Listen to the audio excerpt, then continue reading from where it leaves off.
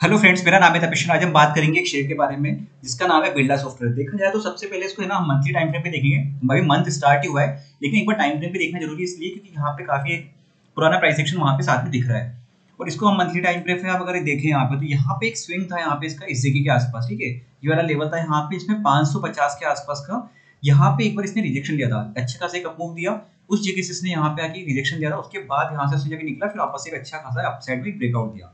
ये शेयर देखो, अभी अपने ऑल टाइम हाई से अगर देखें तो काफ़ी अच्छी गिरावट में आ चुका है। इसको हम देखें परसेंटेज निकाल के तो काफ़ी अच्छा इसमें करेक्शन ऑलरेडी आ चुका है पैंतीस परसेंट के आसपास का। और आईटी बीच में भी मूव आया था इसमें अच्छा खासा मूव आया भी था, लेकिन वापस से जब आईटी सेक्टर में करेक्शन आया तो साथ के साथ इसमें इम्पैक्ट यहाँ पे इसमें भी देखने को मिला है इसमें अब क्या है ना मेन सपोर्ट लेवल क्या चल रहा है यहाँ पे, अगर देखें हम यहाँ पे मंथली के हिसाब से इनकेस अगर यहाँ पे रुक जाता है ये ये सपोर्ट लेवल यहाँ पे ले लेता है ये वाले लेवल पे, तब तो ठीक है। अगर ये इस लेवल को इसने ब्रेक करके नीचे निकल गया यहाँ पे तो फिर ये वापस से दिक्कत कर सकता है। तो ऐसे में क्या ना रिस्क रिवॉर्ड रेशियो काफ़ी फेवरेबल होता है। हमारे पास खोने के लिए बहुत कम है यहाँ पे पर अगर यहाँ से अच्छा मूव यहाँ पे आया ये तो काफ़ी अच्छा यहाँ पे एक आ, मतलब रिवॉर्ड देखने को मिल सकता है यहाँ पे। इसमें अगर मंथली टाइम फ्रेम के हिसाब से देखें यहाँ पे या तो पूरा मंथ एंड का वेट कर लो यहाँ पे इसमें और प्रॉपर क्या कैंडल बनती है वो चीज़ का वेट कर लो है ना?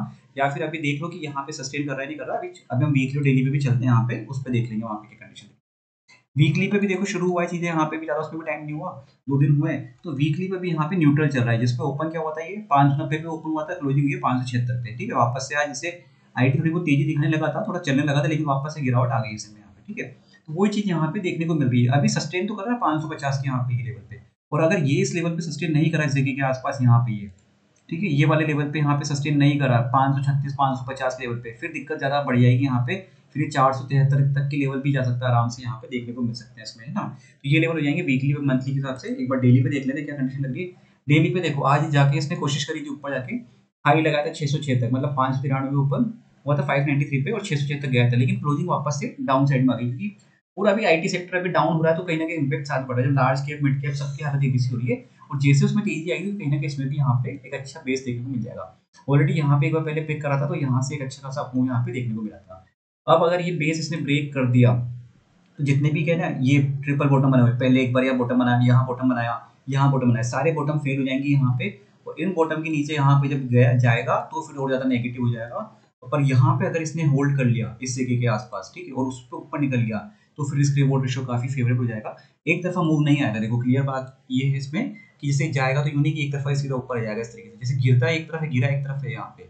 ठीक है? क्योंकि जिन जिन्होंने पहले ले लेके बैठे थे, अब जैसे प्राइस नीचे आ रही थी तो वो कहीं ना कहीं एग्जिट करते मूवमेंट अब आएगा इस तरीके से, ऊपर जाएगा ऊपर जाएगा, इस तरीके से, ये चलेगा, फिर ऊपर जाएगा, इस तरीके से, ऐसे मोमेंटम बनेगा इसमें। क्योंकि हर लेवल पे यहाँ पे कोई ना कोई पहले का फंसा पड़ा हुआ जो यहाँ पे निकलेगा। जब जैसे प्राइस ऊपर जाएगी तो ये सारे हर लेवल पे यहाँ पे कहीं ना कहीं एग्जिट करने के लिए बैठा हुआ होगा। फिर ये आएगा नया लेवल एक यहाँ पे 800 के आसपास का लेवल है ना? फिर ये लेवल है तो हर प्राइस पे आपको कहीं ना कहीं करना कोई एग्जिट करने के लिए देखा जाएगा यहाँ पे प्राइस में यहाँ पे थोड़ी बहुत प्रॉफिट बुकिंग देखने को मिल सकती है।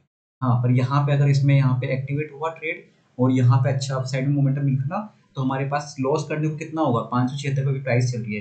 पाँच सौ पचास के आसपास का एक अच्छा सपोर्ट लेवल है। पच्चीस तीस पॉइंट का यहाँ पे एक छोटा सा लॉस का रिवॉर्ड है। रिस्क यहाँ पे। बाकी रिवॉर्ड देखा जाए तो काफ़ी अच्छा ऊपर की तरफ़ यहाँ पे बन रहा है कंडीशन में यहाँ पे। तो इस चार्ट को एक बार आप देख सकते हो अपनी कंडीशन के हिसाब से और अगर आपके पास है तो ये ध्यान रखना है कि यहाँ पे ये एक सपोर्ट पर है और अगर इसके नीचे निकलता है तो फिर और दिक्कत कर सकता है। तो इन लेवल्स को मार्क करके रख लेना और अगर ऊपर भी जाएगा तो एक तरफा प्लान मत करना कि बहुत बड़ा मोमेंटम एकदम एक तरफा आएगा। थोड़ा रुक रुक के चलेगा वो चीज़ें, यहाँ पे आएगी देखने को ऐसे में। क्योंकि बहुत ज़्यादा अभी यहाँ फंस गए होंगे इस जगह पर। काफ़ी अच्छा यहाँ पे ट्रैप हुआ होगा, कई लोगों के यहाँ पे अभी पोजीशन फंसी पड़ी होगी इस जगह पर। तो उनके लिए वीडियो यहाँ पे। बाकी यहाँ पे कोई बाय सेल की रिकमेंडेशन नहीं, जो भी मुझे चार्ट के बेसिस पे लगा, मैंने आपके साथ शेयर करा वीडियो अच्छा लगा तो चैनल को सब्सक्राइब कर दीजिएगा, वीडियो को लाइक कर दीजिएगा। Thank you friends